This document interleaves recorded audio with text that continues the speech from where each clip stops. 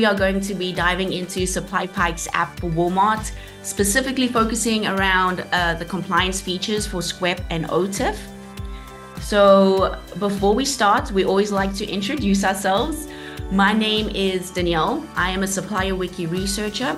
So, I help organize and research some of the content that you see or can see on our Supplier Wiki website. We create free educational content in the form of articles, ebooks, cheat sheets, and webinars uh, just to help bridge the gap between retailers and suppliers. And then leading our fast pitch today is the incredible Ryan Petty. Ryan is the senior product manager here at SupplyPike. He has put many years behind our Walmart product, and there's just so much experience and insight that he brings. So, really looking forward to the perspective that he brings today. Okay. So last thing before we get into the content, if you are new to our webinars or have never heard of Supply SupplyPike, we are a Northwest Arkansas-based software company who helps suppliers reduce revenue loss by detecting compliance issues and fighting them through business logic and automation. We do this in a lot of different ways and with multiple different retailers like Walmart, Target, Amazon, and Kroger. Today, we are going to uh, be specifically focusing around Walmart. And just a little shout out, we work with a lot of great suppliers across the box in almost every product category. We have some of them up here today. And if your logo is not up here, we would love to see it at some point. We love to work with suppliers to help reduce revenue loss and win back money owed. And we would love to do that for you. And with that, I will hand it over to Ryan to get into today's content. Yeah. Thanks, Danielle, and thanks everyone for joining. Um, so we'll be talking about Walmart compliance today and our solution on it. Uh, some of you may know there's been a lot of recent changes to Walmart's compliance requirements, um, both to the SQEP program as well as their on time and full program, both of which our solution covers. So just kind of a reminder that the game is kind of always changing. Um, and we try to help our suppliers kind of navigate these changing waters as best we can. And our solution is always up to date with these changes um, as they're rolling out so that we can best support you. Um, so, uh, to sort of start with our solution and what we primarily do, um, there's a lot of things we do. We want to help you with fine prevention. We also try to help you with fine recovery, especially when things are invalid fines. Um, so part of what we do is automatically spot invalid fines by tying together multiple data sources and trying to you know detect when Walmart's sort of outcome of non-compliance could be wrong. So uh, we automatically sort of separate and identify those. Um, we also help you dispute with just a couple of clicks we gather all of the, the required data to submit OTIF or SQEP disputes um, and package that up into a file um, so that everything is there for you. You don't have to prepare these disputes. Um, with OTIF specifically, you can even just click a button to submit the, the dispute directly from our solution. So you don't have to go into HighRadius, look for those invoices and fill out their sort of tedious dispute process. You can do those OTIF disputes directly in our app. Um, and then I talked about fine prevention with compliance. Most fines we see are valid. Um, so usually like 10 to 15% of compliance fines we see is invalid often, um, leaving the rest as valid charges. And so we want to help you understand, you know, what are the key drivers of your fines so that you can see the root causes and then actually take action and prevent those going forward to reduce those OTIF fines. So skip slide there. Uh, SQEP, um, it's very similar. We sort of bring in data from different sources into one spot so that you can easily detect kind of your your largest drivers of the, these SQEP fines, the re primary reasons you're getting these charges, um, also the ability to kind of root cause and dive into those defects and understand why they happened. Um, we also have, as Danielle mentioned, part of our supplier wiki uh, suite is very detailed education on what these defects are, um, what you may have done to sort of incur the charge and what you can do to prevent that charge going forward. So all that is sort of offered up uh, within this SQEP solution. And with that, um, we'll quit talk, showing slides and actually dive into the features, which is where I'm always excited to show. So um, this is our OTIF app. We'll dive into SQEP here shortly but we would handle anything OTIF where it's the US stores program um, or Walmart's US ecom OTIF program. Um, so that would be covered in this OTIF solution. Um, on our dashboard is where we want to give you just very basic visibility to um, you know fines you have received over time, sort of broken out by metric. We also project your fines before they occur. So you can clearly see based on your score, based on the non-compliance for a time period that has not yet been invoiced, you can clearly see what is coming. So it's not kind of a surprise when you get the bill, um, which hopefully you won't get the bill um, if you use our app and we can help you prevent those charges. You can also see your scores over time. There's a lot of reporting that you can do. You can export your PO or line data, sort of this trending data over time. Um, if you have multiple six digits, we have a vendor report that kind of brings it all together. You can also do things like select multiple months at a time. So you could key into specific weeks, um, individual weeks, individual months, or even multiple months and weeks. So um, lots of options to kind of select the time period that you want to zone in on. Um, the rest of the dashboard really keys in on your performance with OTIF. So you can uh, clearly see your performance per metric. In this case, I do have a prepaid uh, environment up, but we also would be able to show you a collect scores as well if you're a collect supplier. So either way, we kind of got you covered.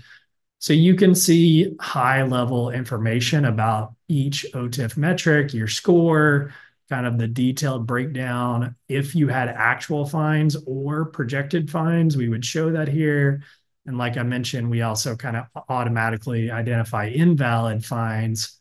So in this case, for in full, we're saying there were $2,000 worth of cases that were shipped according to ASNs, which is one of those extra data sources we pull in. Uh, but Walmart is claiming they did not receive them. So we want to highlight those discrepancies as areas to potentially look at disputing and trying to recover. So um, the rest of the dashboard is kind of just high level KPIs on case counts um, and performance. You can also kind of see the accountability breakdown on the OTIF dashboard of what was supplier accountability versus Walmart. Um, so the dashboard, like I said, is to give you the kind of bird's eye view of what's happening. Um, you can break this down by nine digit um, switch between different six digits, et cetera. So a lot of options there. Um, I will dive into our orders page, and this is where you can see all of your orders for the selected time period and selected vendor. Um, and specifically, we highlight uh, the POs that are not compliant. And this is where you can start to see uh, that we do tie data in. We'll actually go over to the in full tab and look at the not in full POs. Um, and for example, on these not in full POs, for each PO, you can see the number of cases that were ordered, how many cases were not in, in full, um, but then also what was shipped according to the ASN versus what was received in the OTIF app. So a lot of times this is where we see Walmart misreceiving errors and uh, you can automatically kind of spot these discrepancies. You can even filter for it by sort of filtering for any POs with ASN to receiving discrepancies and have that list kind of immediately visible with sort of the impact of that scenario. We also pull received data in from other sources. Right now it's DSS, although since DSS is going away with Walmart, we're switching that to a different data source. Um, but it's just another data point that we're trying to find any kind of discrepancy where Walmart may have incorrectly given you that fine. Um, so that is kind of what you get on the list view, a lot of details about these POs to quickly get an idea of what happened. If there's a PO you want to identify more about, you can click into that PO and kind of view a uh, details page for this PO. So you've got all the primary information about the PO, any compliance issues, um, and details around that compliance issue. And I will say too, if you're a prepaid supplier, we pull in your Walmart delivery appointments. Um, so you can see the carrier that delivered that PO. You can see when the appointment was scheduled. Um, if you or your carrier submitted any callback request to try to move the delivery appointment because maybe Walmart didn't have an appointment in the window, um, when you submit those callback requests, we would pull that in as well to try to, again, help you root cause and understand, okay, this one might have been late because uh, there was not an appointment available in the window. You can even see Walmart's response to those callback requests. Um, so uh, for collect suppliers, we'd actually have the routing request that you submit, including the timing of when you submitted that routing request. If you submitted multiple routing requests on a PO, we'd have that full history. Uh, we even have transportation portal tickets for collect suppliers if you have to file tickets when Walmart misses a pickup. So really all of the detail you can imagine on what happened on this PO is available on this PO details page. There's also kind of line level performance um, for you know on time as well as not in full. Um, so really detailed information. You can see cancel indicators and cancel reason codes. So a lot, a lot of info with just kind of a click away into any PO. Um, so this is same concept, sort of on the on time side for on time, we focus the columns really around timing. So, what was the must arrive by date, the window, when did it actually arrive? And again, that appointment information, who's delivered it, uh, the type of delivery. So, all of this is kind of available with a click um, and can be downloaded. So, this gives you a quick idea of you know what happened on these POs and um, I'll also show you what you can do from our uh, orders page, which is actually submit disputes. So if we look back at a past month on in full, we can see there was actually a dispute submitted for November's OTIF fine. It, you can see the amount disputed, amount accepted. Um, and so you have that quick visibility to what you've disputed. I'll go to another month that has not yet been disputed. And so you can see here uh, kind of the summary of what was charged, what we found as possibly invalid in that not disputed status. Um, we also kind of advise on the best timing of submitting disputes because we've seen across uh, hundreds and thousands of disputes, what is the optimal kind of time window to getting the most recovery back on these fines? So we'll kind of give you some indications of when to dispute these months as well. Um, but all it takes to submit a OTIF dispute from our app is we've got all the non-compliant orders here for not in full.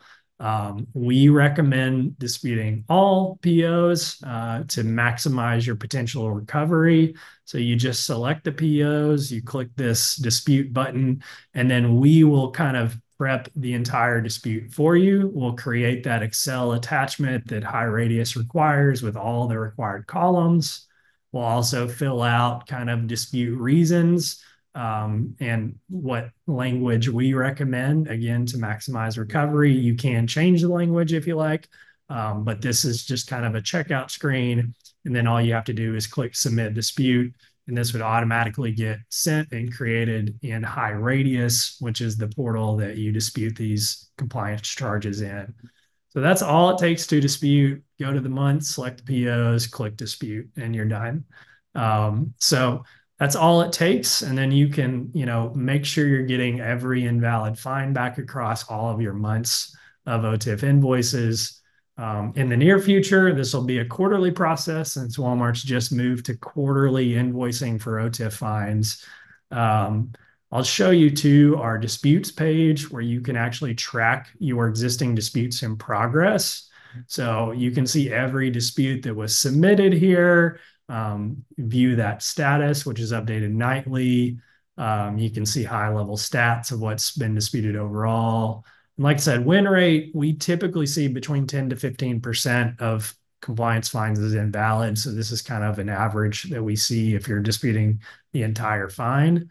Um, you can also dive into these individual disputes and see the details of what HighRadius responded with. You can also download your invoice PDF, um, but as well as especially look at that response on these disputes. So um, that is kind of the recovery side. It's very easy to submit compliance disputes, track your disputes until you're hopefully paid back on what is invalid. On the valid fines, I'll just real quick show one more thing here before we go over to SQEP. We also have this very detailed root cause analysis feature. So you can break down your compliance and supply chain data from all of these perspectives. So for prepaid suppliers, um, you know, delivering on time is very important. A lot of suppliers use multiple carriers. Here, you can break down performance by carrier. So you can actually hold these different carriers accountable for their specific performance. So you could see it you know, for whatever time period you wanted. We would show you performance by carrier and your actual fine amount you received from that carrier's uh, deliveries. We've even some seen some suppliers who kind of charge the carrier 3PL back based on this data that you can provide to them that shows them you know, their performance and the fines you actually receive related to it. You can also go one step deeper and actually click on a specific carrier and pull up an OTIF scorecard for that carrier. And so then you can really track their on-time scores over time, the fines you received related to their deliveries over time. Uh, you can, you know, of course, break down individual time periods and see overall performance and details. You can even break it down by Walmart DC so you can figure out which lanes they may be struggling with um, and share that to the carrier. It's downloadable. If they want kind of a list of POs that were non-compliant where they may have missed the window, you can see that individual PO list they delivered. You can download it and share it to them. So it really helps you hold those third parties in your supply chain accountable with this kind of one-click data to access this this view.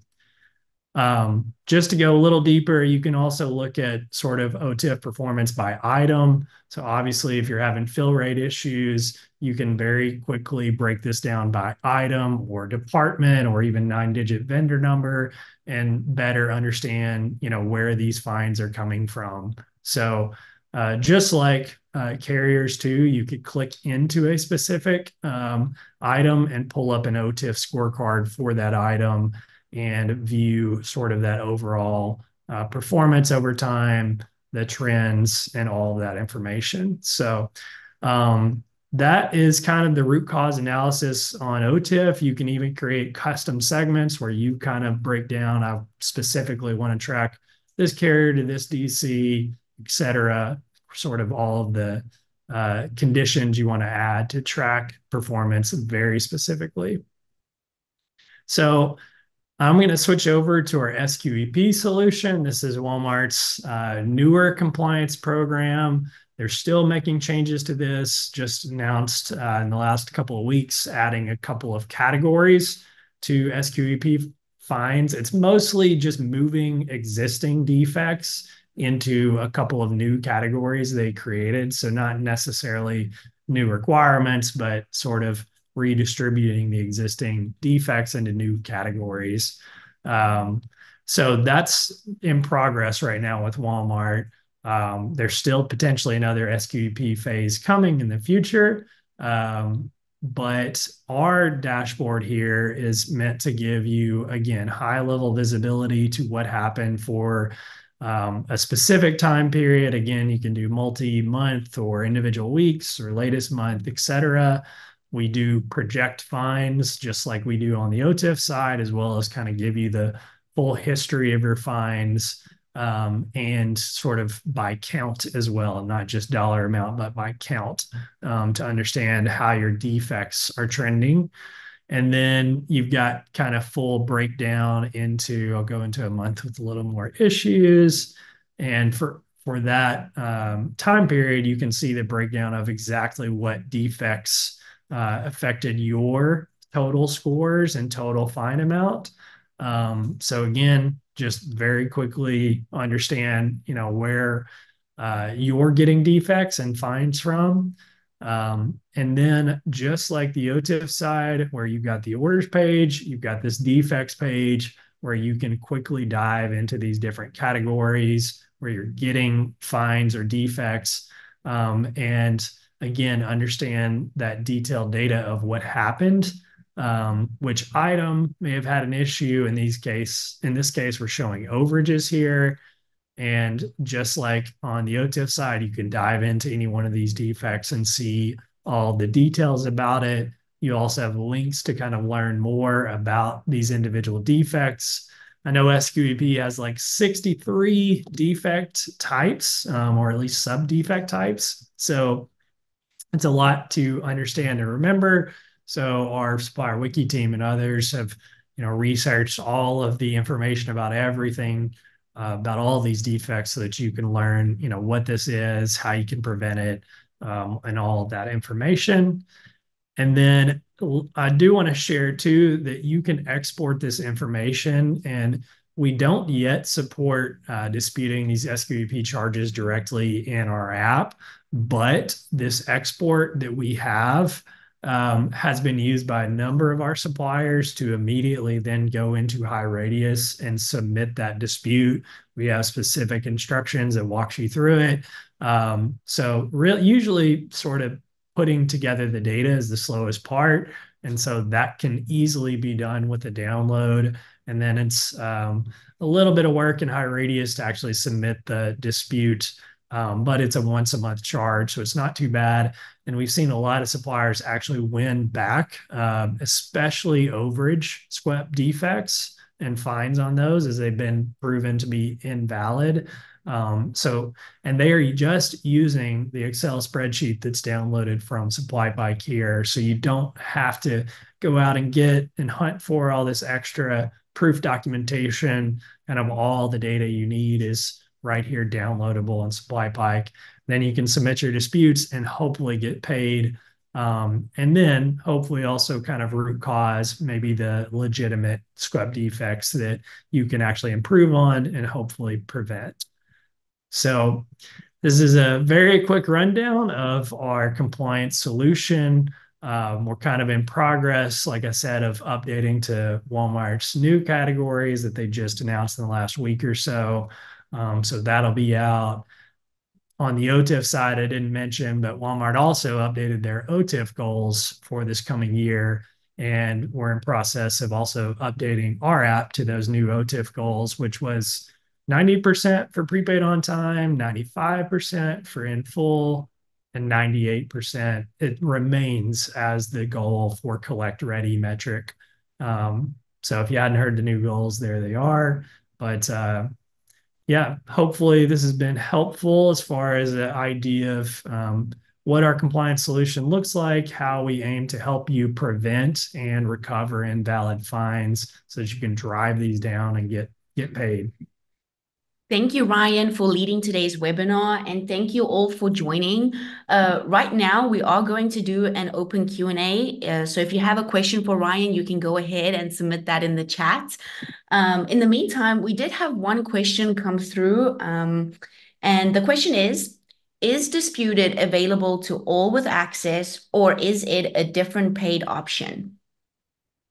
So for any any if you're if you're new to SupplyPike and do not currently have our solution, then disputing would be included with our sort of compliance solution. So um, yeah, you get the sort of whole package of prevention as well as disputing, and that should be available to you if if you sign up. So love to have you check it out. Thank you. Okay, so while we wait just to see if any other questions uh, pop up in the chat, um, Ryan, if you could just go to the next slide. Sure. Thank you. I just wanted to share a really exciting um, upcoming webinar series that we are doing with 1WorldSync. In this three-part series, we will be covering IT management in the form of content creation, content management and delivery, and content optimization. This series kicks off next week, so highly encourage you to sign up. I will be sending the link um, in the chat, and we really look forward to seeing you there. Let me just Okay. All right. So I didn't see any other questions pop up.